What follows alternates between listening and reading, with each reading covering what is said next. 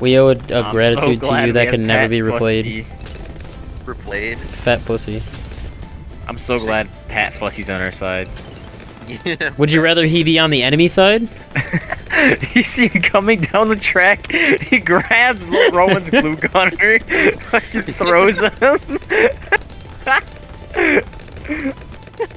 That's so gooped up. The bomb shooter shoots something at him, he just grabs it, throws it right back at the bomb shooter, destroys it. That would be accurate to monkey to monkey shooter. combat in real life. Yeah, it's like some fucking anime thing. That'd be accurate to monkey monkey combat in real life. Did he just say suck dick? What? Pretty sure he just said suck dick. Who's he? Pat Fusty.